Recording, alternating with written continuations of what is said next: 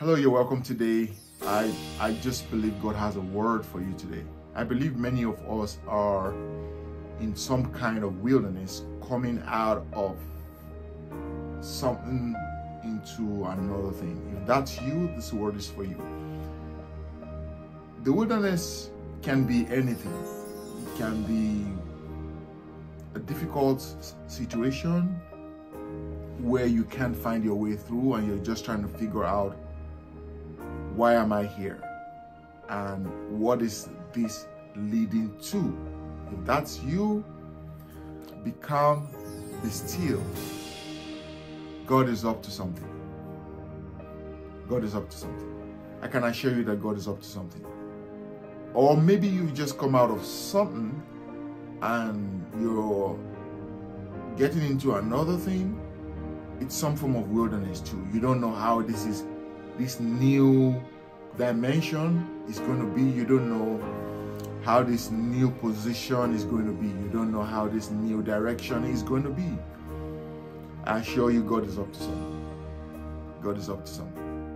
You see, God never wastes anything. There is no experience that you've had that is a waste when it comes to God. God never wastes any experience. God never wastes any adventure. God does not waste any time. God is not a time waster. There is no wasted time in God. In fact, God is a redeemer of time. He's a redeemer of things, purpose, and in God, some things that look like a waste of time is actually God behind the scenes trying to redeem something. And many times when God is trying to redeem something, it feels like we're in the wilderness. It feels like we can't find our way through and we just in a place, we're just in a place where we don't understand how we're going to move forward from there. Anytime he feels like you're stuck, anytime he feels like you're you can't find your way through, anytime it feels like every attempt you make to go forward is just hitting a brick wall. Has anybody ever been there? It just feels like you're hitting a brick wall. You try to move forward, you just can't. You you trying to go to a new dimension, to a new level, and it just feels like there's a brick wall in front of you and you can't go past it. And, you're wondering, why is it that everything I'm trying to do is not working? Why am I stuck here? Why is it that I can't just move forward from where I am? You sense inside of you that God has something for you, but you just can't seem to lay hold of it. You just can't seem to grab it. Now, first of all, you got to understand that a wilderness is a place of transition. So you are in a place where you are transiting from one thing to another. And in that place, there will be questions. In that place, there will be question marks.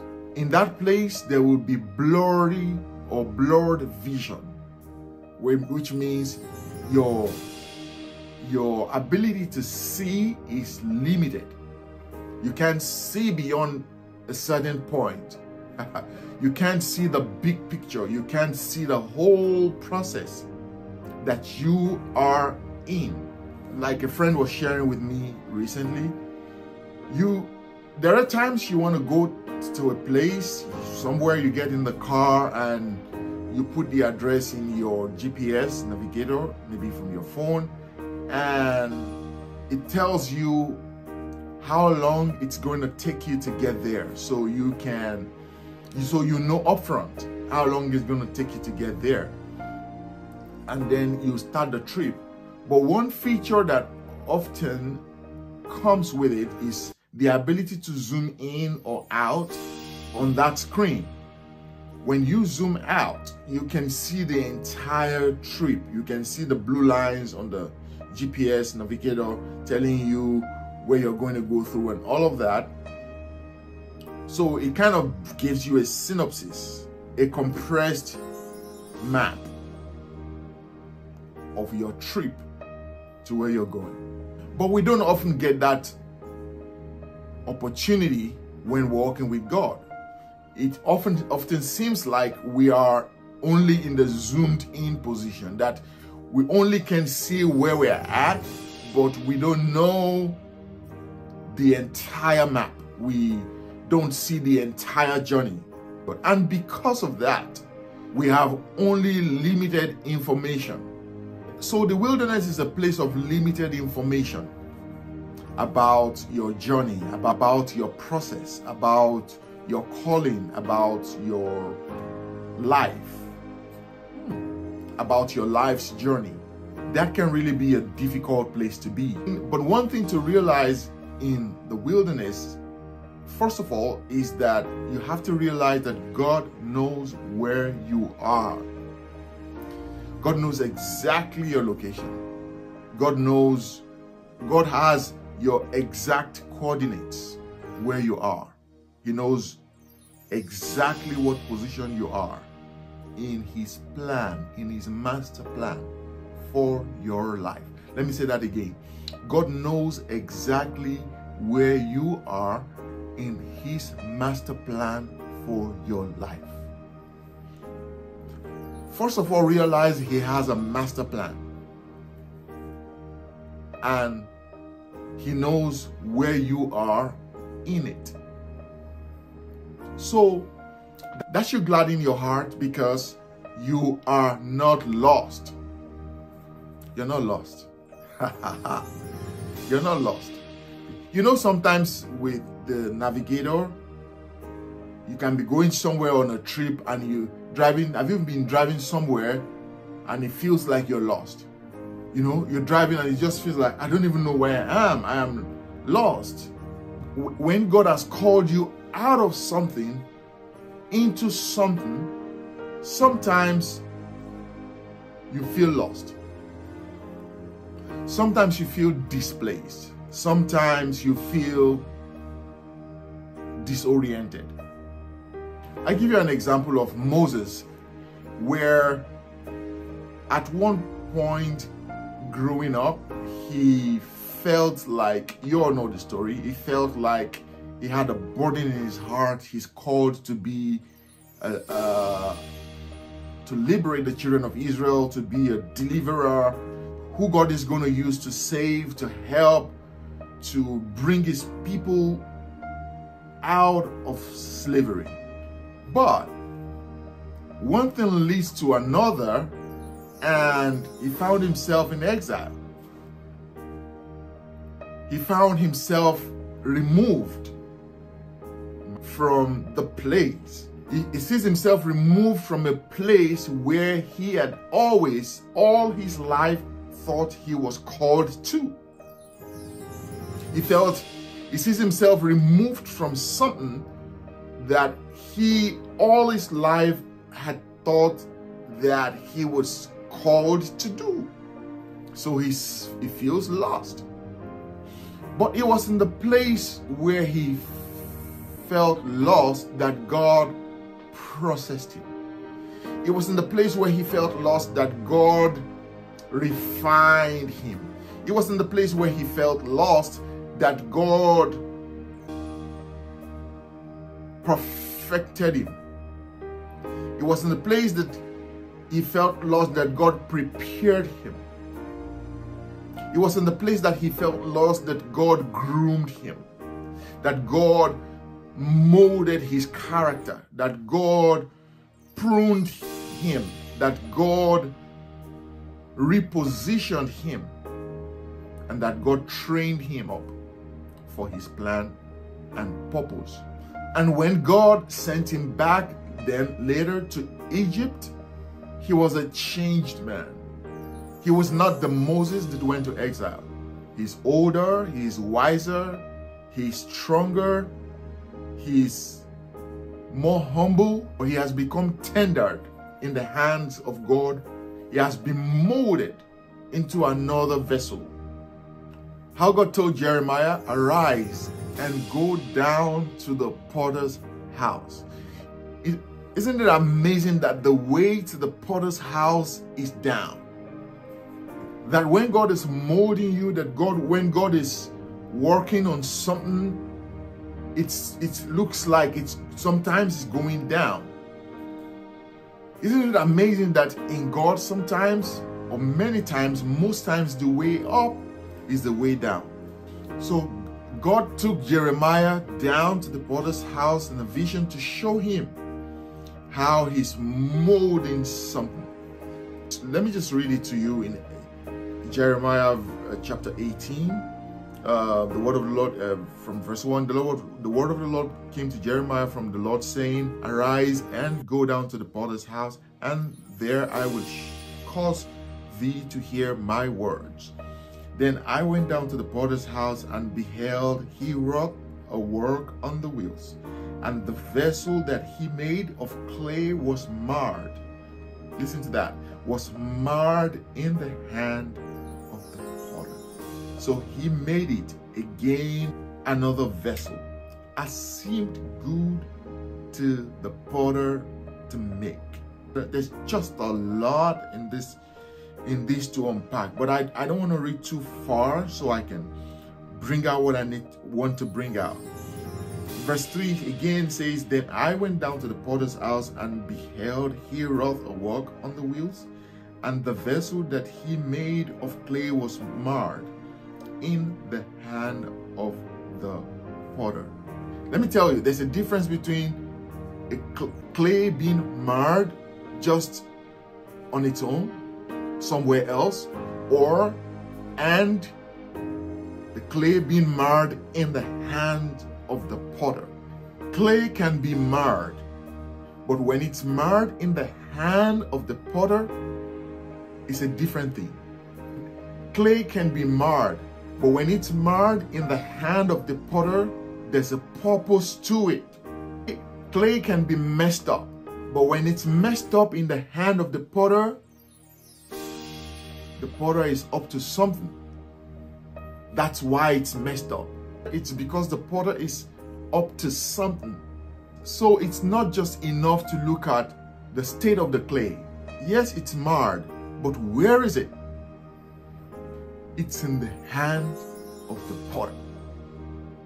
So don't just look at the state of the clay. Don't just look at the state, the situation. Look at, consider where it is. Consider in whose hands it is. You know, when when you drive by on a, on a, on a freeway and you see a car that there's steam coming out of the engine of the motor the doors are open, you find a car in that situation, you are likely going to want to stop to find out what's going on because that doesn't look normal. But when you find the same scenario in a mechanic workshop where the steam is coming out of the, the motor of the engine and the doors are open and the same thing, you're not going to worry or stop because it is in the workshop of the mechanic. It is in the hands of the potter. So when it looks bad on the road, on the freeway, it looks bad. But when it looks bad in the mechanic workshop, it's about it's because it's about to be better. It says, and the vessel that he made of clay was marred in the hands of the potter. So when the clay looks bad on the field, on the streets, it is bad. But when the clay looks bad in the hand of the potter, it's because it is in process. It's in the process of being made into another vessel. It is in the process of being made into something better. It's in the process of being made into something greater. It's in the process of being made into something greater. It is in the process of being made into something bigger. It's in the process of being made into something nicer. It is in the process of being made into something greater. So it's not marred, it's in process. It looks marred, it looks bad, but it is in process. Because of whose hands it is in. I like that song that we sing, Christ is my firm, Christ is my firm foundation. the solid rock, the rock on which I stand. I build my life on Jesus. He's never let me down. He won't.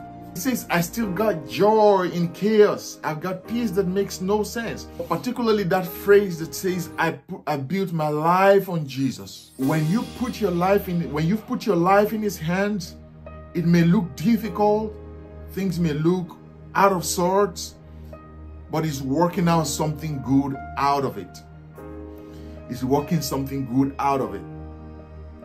It's in process. It says he made it again. Though the, the, the clay was marred in the hand of the potter, but he made it again another vessel as it seemed good to the potter. As it seemed good to the potter. Not as it seems good to the clay. Because the clay doesn't define itself. Because the clay does not design itself the clay is not its own designer. It's the potter who designs, who decides the design of the clay.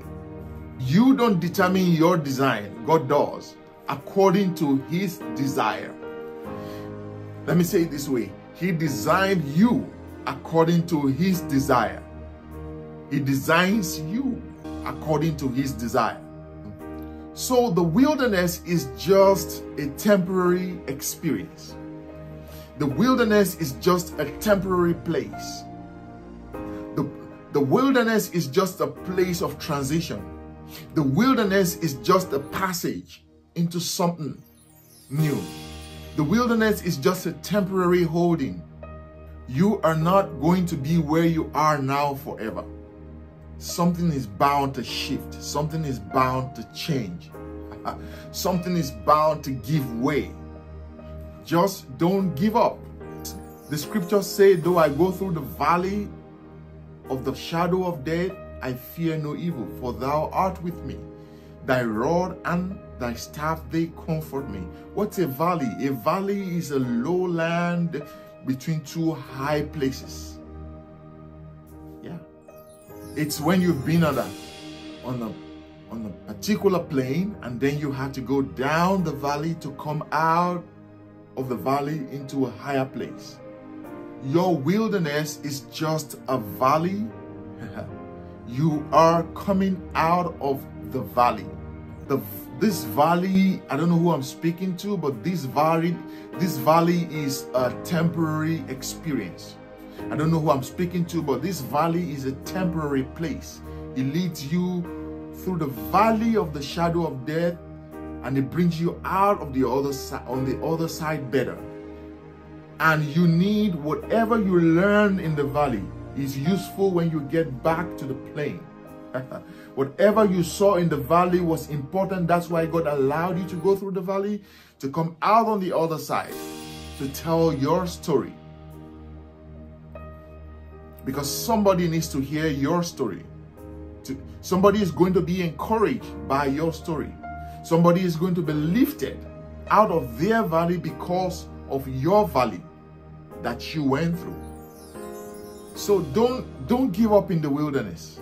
Everyone goes through it. Yeah. Everyone goes through a season of not understanding the purpose. Everyone goes through a season of not being able to change anything, that change the things they want to change. Everybody goes through a season where they feel stuck. Everybody goes through a season where they can't reach for something that they they they desire, something that they know God has for them. Yeah. Everyone goes through a season where they can't just seem to move forward. They've done everything, but yet Nothing has worked out yet.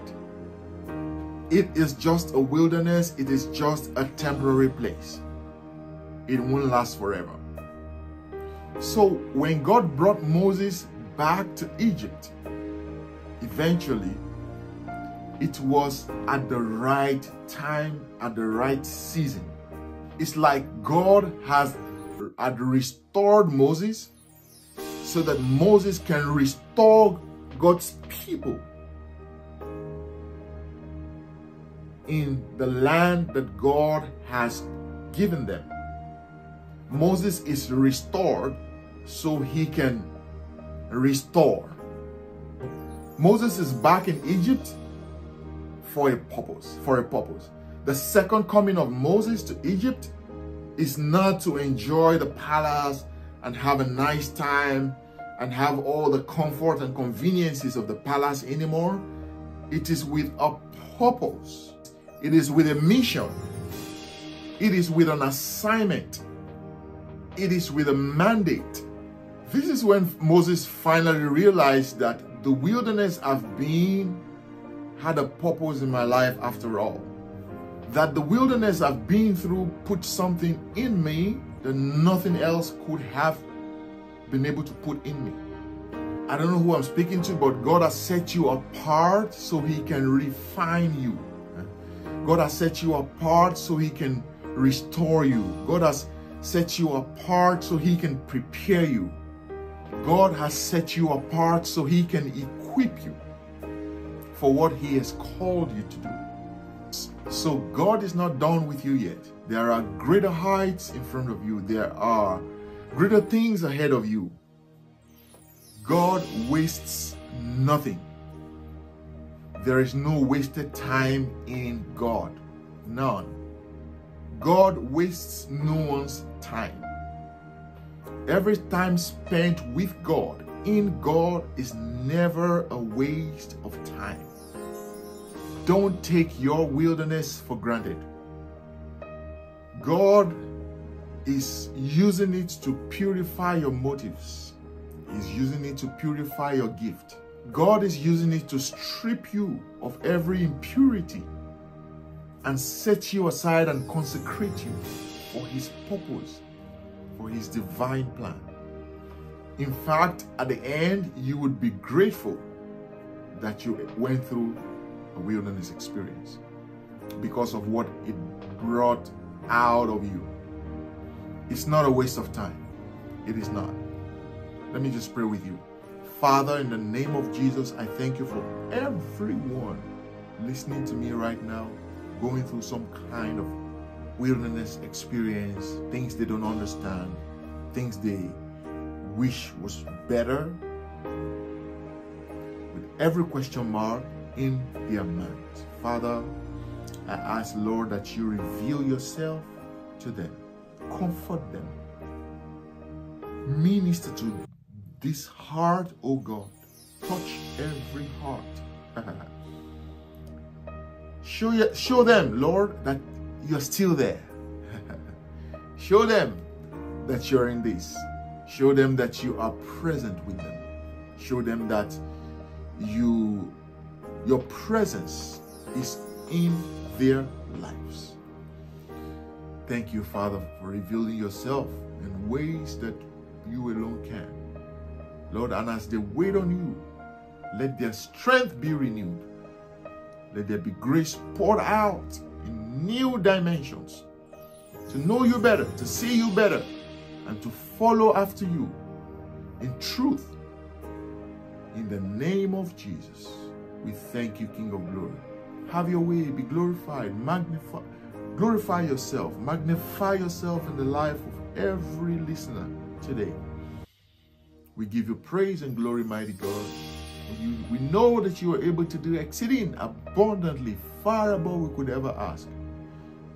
To this end, we give you praise, we give you honor, we give you glory. Thank you for doing a new thing. Blessed be your name, King of glory. In Jesus' name we pray. God bless you.